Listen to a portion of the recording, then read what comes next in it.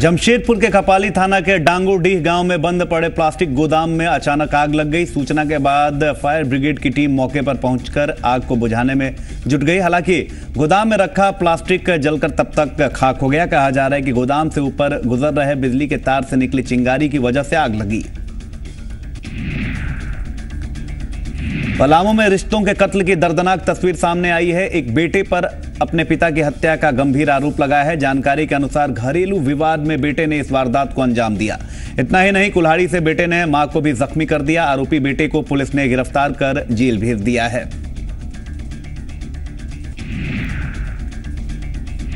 Palamu police ने हरिहरगंज थाना इलाके से दो लुटेरों को गिरफ़्तार किया है। पुलिस ने इनके पास से दो पिस्तौल और पाँच ज़िंदा कारतूस भी बरामद किया है। गिरफ़्तार लुटेरों के खिलाफ कई मामले दर्ज थे और पुलिस इनकी लंबे समय से तलाश में जुटी हुई थी। पुलिस गिरोह में शामिल दूसरे लुटेरों की गिरफ्तारी के लिए छापेमारी कर रही है। संदिग्ध आतंकी अब्दुल रहमान कटकी और मोहम्मद सामी को सात दिनों के रिमांड पर लेने के बाद जमशेदपुर पुलिस एटीएस आईबी और स्पेशल ब्रांच सहित तमाम जाँच एजेंसियों ने इनसे कड़ी पूछताछ की है। पुलिस को उम्मीद है कि इन दोनों से पूछताछ में जमशेदपुर और पूरे सूबे में स्लीपर सेल के नेटवर्क का पता चलेगा। एसएसपी अनुप टी मैथ्यू ने बताया कि कटकी ने पाकिस्तान में ट्रेनिंग ली है और झारखंड के अलावा देश के अन्य हिस्सों में भी उसने अपना जाल फैला रखा है। अलकायदा का जो आतंकवादी है, उन लोगों के साथ, उन लोगों का पूछताछ अभी प्रारंभ हुआ है। तो सात दिन का रिमांड पुलिस को मिला है। और रिमांड हम लोग जो है, पूरी तरह कोशिश कर रहे हैं कि जो मैक्सिमम जानकारी उन लोगों से प्राप्त करना है। क्योंकि जो आतंकवादी संगठन है, उन लोगों का नेटवर्क काफ़ी वाइड है। खाली झारखंड में नहीं, झारखंड इंडिया का अन्य बाकी स्टेट्स में भी है इवन इंडिया के बाहर भी है इन लोगों का नेटवर्क और इसलिए जो है पूरा जानकारी प्राप्त करना आवश्यक है, इसलिए हम लोग अभी पूछताछ प्रारंभ किया है। धनबाद के केंदुआ डीह में पुलिस ने 200 ग्राम हेरोइन के साथ दो तस्करों को गिरफ़्तार किया है। गिरफ्त में आए तस्कर रघुनाथ कविराज, पश्चिम बंगाल, जबकि पंकज कुमार उत्तर प्रदेश का रहने वाला है। दोनों तस्कर हेरोइन की सप्लाई के लिए धनबाद आए थे। बरामद हेरोइन की कीमत 25 लाख रुपए आंकी जा रही है। फ़िलहाल पुलिस दोनों तस्करों के लोकल लिंक की तलाश में जुटी हुई है। रामनवमी के दिन बोकारो में हुई हिंसा पर बोकारो के डीसी और एसपी ने रिपोर्ट जारी कर दी है। डीसी और एसपी ने अपनी रिपोर्ट में इसके लिए थाना प्रभारी, डीएसपी मुख्यालय और बीडीओ को प्राइमा फेसी दोषी करार दिया है। सरकार की तरफ़ से फैसला आने का इंतज़ार है। नक्सली इलाकों के मासूम युवाओं को बहलाकर उन्हें अपने संगठन में शामिल करने की रणनीति का जवाब देने के लिए पुलिस ने एक अलग तरीका अख्तियार किया है। लोहरदगा में पुलिस ने इन दिनों हथियार छोड़ो वॉलीबॉल खेलो अभियान चला रही है, जिसका मकसद नक्सली इलाकों के युवाओं का ध्यान हथियार छोड़कर खेल की तरफ़ मोड़ने की है। हथियार डालिए और वॉलीबॉल खेलिए, इस तरह की एक संज्ञा दी गई है। और लोहरदगा पुलिस कप्तान कार्तिक और उनकी टीम ने इसको एक बहुत ही सकारात्मक सोच के साथ इसको किया है। इसके पीछे तर्क ये है या दर्शन ये है कि वायलेंस हिंसा के मार्ग को अपनाकर कभी कुछ पाया नहीं गया है। नक्सली भले लोगों को बरगलाते हैं, कोशिश करते हैं कि जो जो नौजवान हैं या इवन टीनेजर्स हैं, वो उनके साथ आ जाएँ और हथियार उठाएँ और लड़ाई लड़ें। और खूनी संघर्ष करें। इसका अंततः फलाफल कुछ होता नहीं है। ज़्यादा से ज़्यादा गरीब लोग मारे जाते हैं। प्रॉपर्टी का नुकसान होता है और किसी को एक रत्ती भर का फ़ायदा नहीं होता। जो होता है, नुकसान ही होता है, सब कुछ नेगेटिव होता है। शहीद पुलिस अधिकारी अजय सिंह के नाम पर यहाँ टूर्नामेंट का आयोजन किया जाता है। साल 2000 में तत्कालीन एसपी अजय सिंह की हत्या कर दी गई थी। अजय सिंह की ही याद में इस टूर्नामेंट का आयोजन होता है। इस टूर्नामेंट के लिए एक थीम सॉन्ग भी तैयार किया गया है, जिसे यूट्यूब और व्हाट्सएप पर खूब लाइक किया जा रहा है। हम लोग जो जामताड़ा में पानी के अभाव में सैकड़ों एकड़ में लगी सब्ज़ी की फ़सल सूख गई। नारायणपुर प्रखंड के धर्मपुर मदनाडीह रामपुर सहित कई गाँवों के किसानों ने सब्ज़ी की फ़सल उगाई थी, लेकिन जूरिया और कुआँ के सूख जाने से फ़सलों की सिंचाई नहीं हुई और फ़सल सूख गई। सब्ज़ी की फ़सल के सूखने से जहाँ किसानों को लाखों का नुकसान हुआ है, वहीं स्थानीय बाज़ार में सब्ज़ी की कीमत बढ़ गई है। नदी पर ही हम लोग करते हैं, उसी के आशा से ही हम लोग कर रहे हैं और पहले भी कर रहे थे।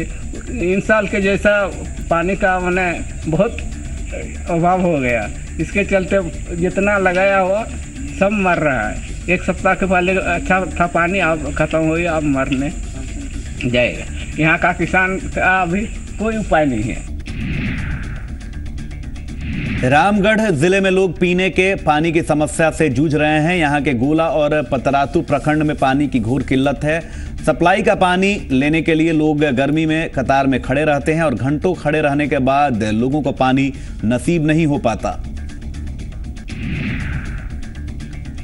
झारखंड के अर्थव्यवस्था में मछली उत्पादन का भी अहम योगदान रहा है। हर साल झारखंड सरकार के फिशरी फॉर्म सेंटर से मछली के करोड़ों बीज का उत्पादन होता है, लेकिन इस बार पड़ रही प्रचंड गर्मी का सीधा असर फिशरीज पर भी देखने को मिल रहा है। भारी संख्या में मछली के बीज का उत्पादन करने के लिए बनाए गए झारखंड सरकार के फ़िश फार्म सेंटर का हाल और भी ज़्यादा बेहाल है। भीषण गर्मी के चलते फिशरीज के 24 में से 18 तालाब पूरी तरह से सूख गए हैं। बाकी के छह तालाबों में बटन जलाशय के ज़रिए पानी भरा जा रहा है ताकि बरसात आने से पहले मछली के बीज बनाए जा सकें। डीप बोरिंग का भी इस्तेमाल किया जा रहा है ताकि फ़िश सीड को बचाया जा सके। झारखंड के जल संकट से इंसान ही नहीं, बल्कि जानवर भी परेशान है। पानी की कमी के चलते जंगली जानवर पानी की तलाश में भटक रहे हैं। कई जानवरों की प्यास से मौत हो गई है। वहीं पानी के तलाश में भटकने के चलते उनके शिकार की खबरें भी हैं। हालाँकि जानवरों को पानी पिलाने के लिए वैकल्पिक व्यवस्था की जा रही है। शिक्षा के नाम पर सरकार करोड़ों रुपए खर्च कर रही है, लेकिन सच्चाई है कि खाना और पानी के अभाव में बच्चे स्कूल छोड़ने पर विवश हो रहे हैं। रांची से करीब 50 किलोमीटर दूर बुंडू के अनुसूचित जाति आवासीय विद्यालय के आधे से अधिक छात्र खाना और पानी की कमी के चलते विद्यालय छोड़कर घर भाग चुके हैं। छात्रों का कहना है कि विद्यालय का चापाकल खराब हो चुका है और जो बोरिंग है, उनमें एक फेल है, जबकि दूसरे में गंदा पानी आता है। छात्रों का यह भी आरोप है कि मेन्यू के हिसाब से उन्हें खाना नहीं दिया जाता। स्कूल के प्रिंसिपल ने भी स्वीकार किया है कि स्कूल में पानी की किल्लत है और बच्चे स्कूल छोड़कर जा रहे हैं। खाने की कमी के आरोपों पर उन्होंने कहा कि संबंध में विभाग को कई बार उन्होंने पत्र लिखा है, लेकिन अब तक इसका कोई समाधान नहीं निकला। झारखंड में सूखे के हालात को देखते हुए बीडीओ और मनरेगा कर्मियों की छुट्टियाँ रद्द कर दी गई हैं। डोभा निर्माण और जल संरक्षण के लिए राज्य सरकार ने यह फैसला लिया है। झारखंड के नगर विकास मंत्री सीपी सिंह ने देवघर में बन रहे वाटर ट्रीटमेंट प्लांट का औचक निरीक्षण किया। निरीक्षण के दौरान उन्होंने निर्माण में गंभीर अनियमितता पाई। उन्होंने खुद खड़े होकर अपने सामने काम करवाया। मंत्री सीपी सिंह ने काम में कोताही बरतने वालों की जमकर फटकार लगाई। इसके साथ ही उन्होंने हर हाल में सावन से पहले काम पूरा करने का निर्देश दिया। देवघर में शिवगंगा वाटर ट्रीटमेंट प्लांट का निर्माण पिछले सात साल से चल रहा है। इस प्लांट का मकसद शिवगंगा में साफ़ पानी मुहैया कराना है। झारखंड में भले ही पानी के लिए हाहाकार मचा हो, लेकिन राज्य के ग्रामीण विकास मंत्री इससे इत्तेफाक नहीं रखते। देवघर में मंत्री सीपी सिंह ने कहा कि मीडिया में जितनी बातें पानी की किल्लत को लेकर आ रही हैं, वैसी स्थिति नहीं है। पानी की किल्लत है, इसमें कहीं कोई दो राय नहीं है। लेकिन जितना प्रचार प्रसार हो रहा है, उतना भी नहीं। मैं ध्यान देता हूँ, चलता हूँ। ताकि कोई ऐसा क्षेत्र हो, जहाँ पर बहुत ज़्यादा प्रॉब्लम हो हो सकता है यहाँ पर नहीं प्रॉब्लम हो। लेकिन कुल मिलाकर मैं ये कह सकता हूँ कि पानी की किल्लत के लिए टैंकर से भी हो रहा कल हमने कहा भी है कि आप टैंकर और बढ़ाइए। गुमला ज़िले का झरगांव जिसे जिला प्रशासन ने आदर्श ग्राम घोषित किया था, तब उस गाँव में बिजली के लिए जगह जगह सोलर लाइट, ग्राम संसद भवन, दुग्ध संग्रहण केंद्र, तालाब और सड़क ज़ोर शोर से बनवाए गए थे। लेकिन आज इस गाँव की स्थिति बदहाल हो चुकी है। कबियाला अधिकारी आदर्श ग्राम जाकर अपनी उपलब्धियाँ गिनाकर थकते नहीं थे। तत्कालीन सीएम अर्जुन मुंडा ने भी जिला प्रशासन को खूब शाबाशी दी थी, लेकिन आज आदर्श ग्राम में ना तो बिजली है, ना शौचालय है, ना ही कहीं रोड दिखाई देता है और ना ही लोगों के लिए पीने का साफ़ पानी है। ऐसी स्थिति में गाँव के लोग अपने आप को ठगा महसूस कर रहे हैं। लातेहार में मुस्लिम समाज के मोहम्मद मुमताज़ अंसारी के नेतृत्व में दहेज नहीं लेने का जागरूकता अभियान अब रंग लाने लगा है। सदर प्रखंड के पूचरा गाँव के अब्दुल अज़ीज़ ने साठ हज़ार रुपए दहेज लेकर अपने बेटे की शादी। करकट निवासी फिरोज अंसारी की बेटी शबनम प्रवीण से तय की थी। लेकिन इस अभियान से प्रेरित होकर अज़ीज़ ने शादी समारोह में साठ हज़ार रुपए की दहेज राशि लौटा दी।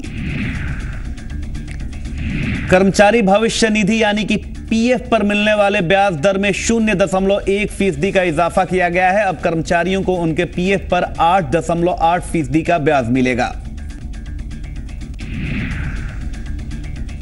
कारोबारी विजय माल्या ने कहा है कि वे जबरन निर्वासन पर हैं और उनकी भारत लौटने की कोई योजना नहीं है, क्योंकि वहाँ हालात उनके खिलाफ तेज़ी से खराब हो रहे हैं। ऑगस्टा वेस्टलैंड मामले में बीजेपी अध्यक्ष अमित शाह ने कांग्रेस पर गंभीर आरोप लगाए हैं। अहमदाबाद में शाह ने कहा कि कंपनी को टेंडर देने के लिए कई कॉम्प्रोमाइज किए गए।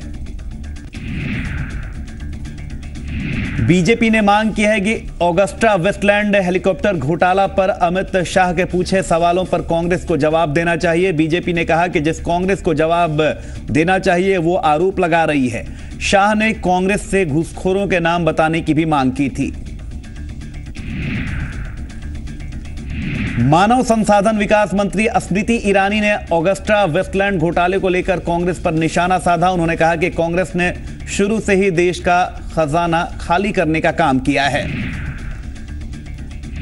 वहीं केंद्रीय मंत्री रविशंकर प्रसाद ने कहा कि कांग्रेस को अपने कार्यकाल में हुए भ्रष्टाचार का जवाब देना चाहिए। रविशंकर ने कहा कि पूर्व की यूपीए सरकार के पास इस मामले में कहने के लिए बहुत कुछ है और वो जवाब देने की जगह आरोप लगा रही है। शरद पवार ने नीतीश कुमार को एक चहेता मुख्यमंत्री बताया है। शरद पवार ने कहा कि एंटी बीजेपी फ्रंट का नेतृत्व करने के लिए नीतीश कुमार सबसे भरोसेमंद चेहरा हैं। हालाँकि बाद में पवार ने अपने इस बयान पर सफ़ाई देते हुए कहा कि अभी नेतृत्व के बारे में कोई आधिकारिक प्रस्ताव नहीं आया है, जिस पर चर्चा की जाए। बिहार के मुख्यमंत्री नीतीश कुमार के पीएम पद के उम्मीदवारी के समर्थन में एनसीपी प्रमुख शरद यादव शरद पवार के खुलकर सामने आने पर जेडीयू प्रवक्ता नीरज कुमार ने खुशी ज़ाहिर की है। नीरज कुमार ने पवार को दूरदर्शी राजनेता बताया है। इसके साथ ही उन्होंने कहा कि बीजेपी रोकना जेडीयू का पहला लक्ष्य है। वहीं जेडीयू के नेता केसी त्यागी ने भी नीतीश कुमार को पीएम मटेरियल बताया। श्री शरद पवार जी के स्नेह पूर्वक जो उनके उद्गार हैं, उसका स्वागत और सत्कार करता हूँ। लेकिन हमारी पार्टी छोटी पार्टी। इसलिए पार्टी ने किसी को प्रधानमंत्री पद के लिए मनोनीत नहीं किया है, न चयनित।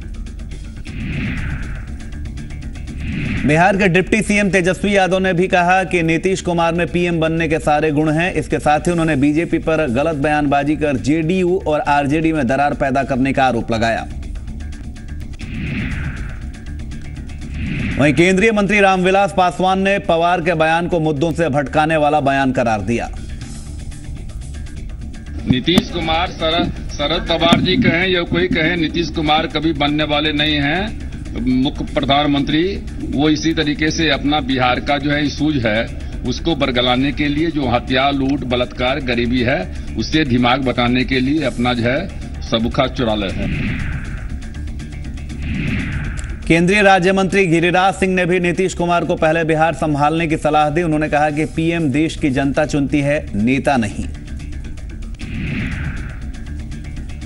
बीएसपी अध्यक्ष मायावती ने शरद पवार के बयान से असहमति जताई है। मायावती ने कहा कि लोकसभा चुनाव अभी दूर की कौड़ी है। उससे पहले पीएम पद के प्रत्याशी को लेकर चर्चा करना तर्क संगत नहीं है।